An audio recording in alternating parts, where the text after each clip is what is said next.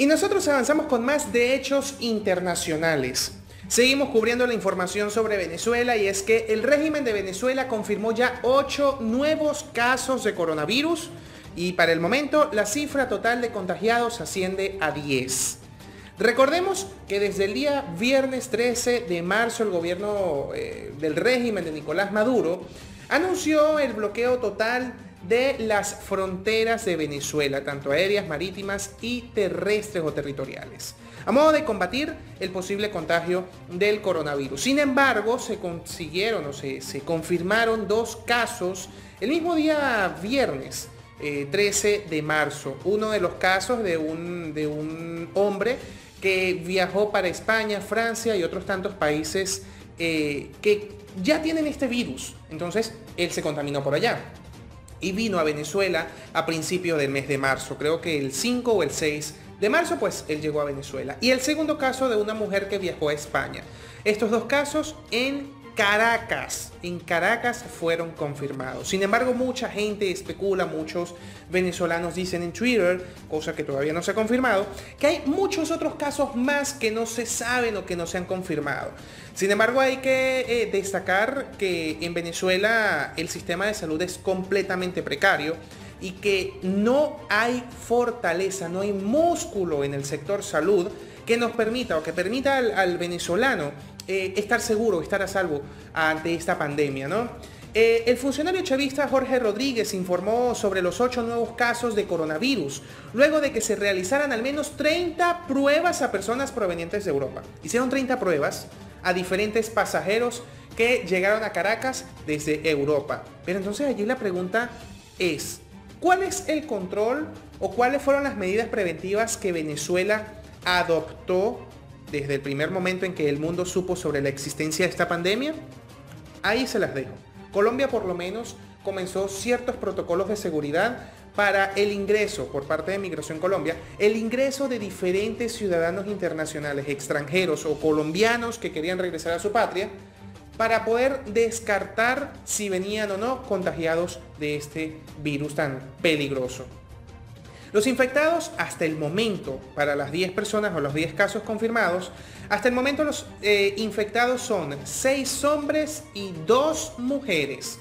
Según informó Jorge Rodríguez, eh, tres, casos provienen de España, dos de Estados Unidos, uno de Colombia y dos venezolanos que lo adquirieron o que adquirieron este virus dentro del país al tener contacto con algunas de estas personas.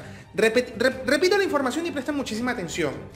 Según Jorge Rodríguez, tres de los casos, o, de estos casos, de estos 10 casos en global, tres provienen de España, dos provienen de Estados Unidos. Uno proviene de Colombia y dos, dos casos fueron de venezolanos que lo adquirieron en el territorio a través de, personas que, ya habían viajado, a, través de algunas de estas personas que viajaron a, a, España, a Europa, a Estados Unidos, a Colombia y que lo contagiaron. Detalló que de las personas que dieron positivo, uno reside en Aragua, otro en Cojedes, y otro en Apure. O sea, ustedes no saben la gravedad del asunto al escuchar esto. Una persona es del estado Aragua, de Maracay, otra es del estado Cojedes y otra del estado Apure. Si en Caracas hay tanto problema con la, con la situación de los medicamentos, con el sector salud, imagínense cómo está el interior del país que ni agua ni luz tiene. Estos son estados como Cojedes, como Apure, como el estado Táchira, el estado Zulia, que pueden pasar hasta 16, 18 o hasta 20 horas sin servicio eléctrico. Aunque parezca una exageración o parezca una película, no lo es. En realidad, estos estados de Venezuela pueden llegar a cumplir hasta 20 horas sin servicio eléctrico. Y con el sistema de salud, pues ni les digo, ¿no? Otra de las personas contagiadas es un tripulante de cabina de la línea aérea proveniente de España, de una línea aérea proveniente de España. Además, él detalló que de las personas que dieron positivo, bueno, sí, una dio una es del estado de Aragua, pero la ubicación geográfica de los casos aumentó la preocupación por una propagación de los casos sin control. Recuerdan lo que les acabo de decir, ¿cierto?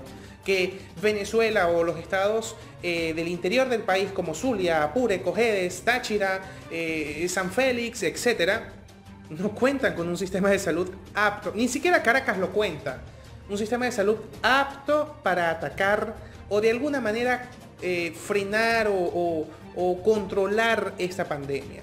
Entonces, eh, la ubicación geográfica de estos casos aumenta muchísimo la, preocupación por la propagación de este virus tan letal, porque sí es un virus letal, para todo el territorio nacional.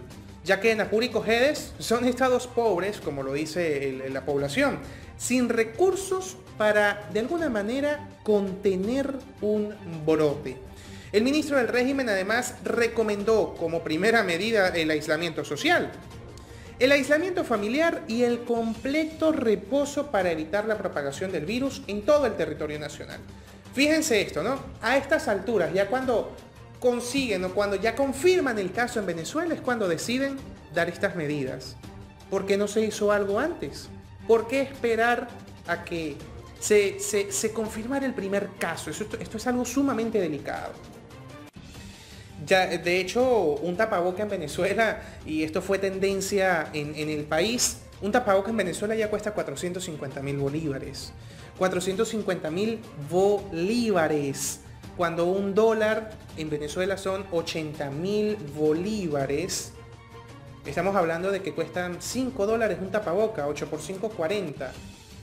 6 dólares. Cada 6 dólares cada tapaboca y no les voy a comentar lo que cuesta un paquete de, de, 20 tapabocas que lo están vendiendo en 60, 70 dólares, eh, el, gel, el gel antibacterial, el alcohol antiséptico, o sea, es una cantidad de cosas que en Venezuela no existe y ahora menos, ahora menos. O sea, la situación de verdad se ve muy complicada hay mucho, mucho hermetismo en el país, hay mucha angustia en Caracas. Muchas personas han salido en estos últimos tres días a abastecer de combustible todos sus vehículos, la, la despensa de su hogar, de comida, en fin. También tenemos que el presidente interino de Venezuela, Juan Guaidó, anunció una redefinición de la agenda de protestas por el coronavirus. Es momento de que el régimen deje entrar a la ayuda humanitaria. El presidente encargado de Venezuela, Juan Guaidó, pues solicitó, sugirió a Nicolás Maduro, actual pues em, usurpador del poder, como muchos políticos en Venezuela lo hacen llamar, eh, para que deje entrar ayuda humanitaria por parte de los gobiernos de Colombia y de Estados Unidos, donde puedan importar los medicamentos necesarios, importar eh, los, eh, todo, todo, todo el kit de primeros auxilios que amerita el ataque o, todo lo que se necesita para contrarrestar la masiva propagación del coronavirus, alcohol, guantes, tapabocas, etc. Sin embargo, no ha habido respuesta por parte de Nicolás Maduro. Venezuela es uno de los países más vulnerables ante un brote de coronavirus, debido a la emergencia humanitaria compleja que hemos denunciado durante años. Así lo dijo Juan Guaidó en un video publicado en su red social o en su cuenta de red social Twitter.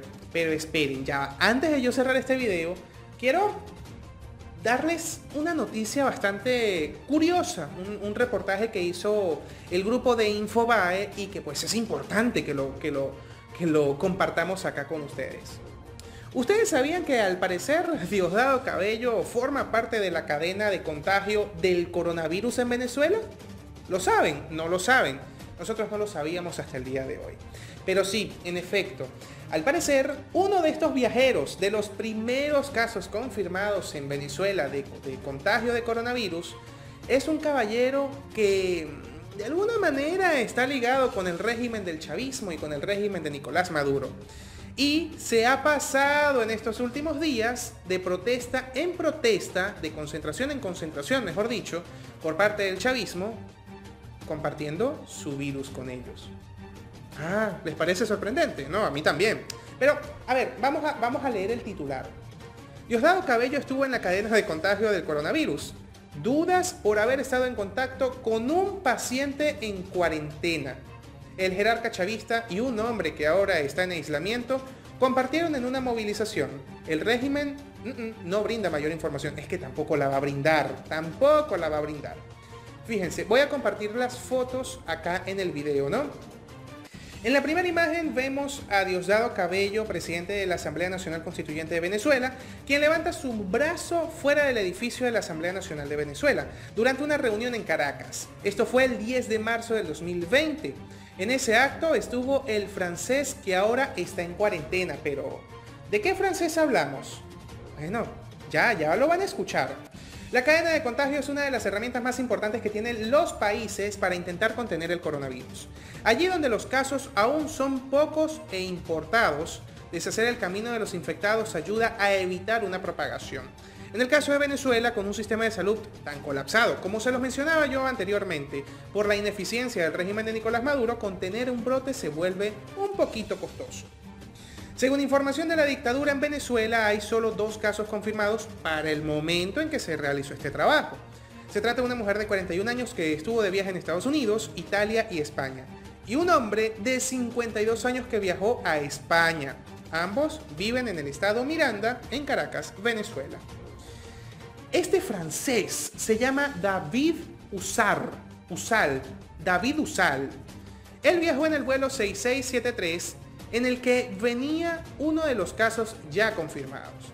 Una vez que esto se conoce, el hombre comenzó su cuarentena. El problema es que antes de aislarse, el francés participó en una marcha chavista en la que se privó de abrazar y saludar a decenas de simpatizantes. Acá en la segunda foto pues lo vemos compartiendo con dos damas eh, y en el pie de foto tenemos David Usal, que viajó a Caracas con uno de los como uno de los infectados de coronavirus, aparece abrazado de una mujer. A esta misma mujer luego la vemos abrazada con Freddy Bernal. En la siguiente foto la estamos viendo. Aparece abrazada con Freddy Bernal. ¿Qué les puedo decir? Luego, Freddy Bernal abraza a Diosdado Cabello. Aquí estamos viendo la foto, en la misma concentración. Después de abrazar a esta mujer, Freddy Bernal abraza a su partner, Diosdado Cabello. Ni Bernal ni Cabello se han pronunciado sobre este tema. Si siguieran los protocolos que usan en el mundo, deberían estar todos aislados de manera preventiva. ¿Qué tal? ¿Qué les parece eso? Entonces ya no solamente es Diosdado el que está, contaminado, o sea, ya tenemos a Freddy Bernal y ya tenemos a otra manifestante, tenemos a un francés que es el único que hasta el momento está en estado de cuarentena. Vamos a ver cómo termina esta novela.